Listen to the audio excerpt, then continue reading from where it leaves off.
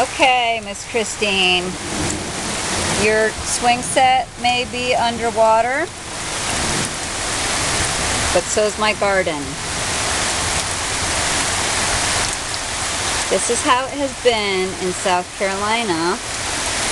I can't even tell you how long, but this is pretty much what I walk out to every day.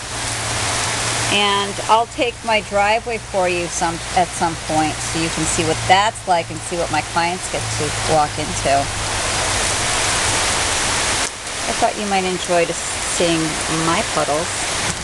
I can't even clean my garden, there's too much water in there. Okay, bye.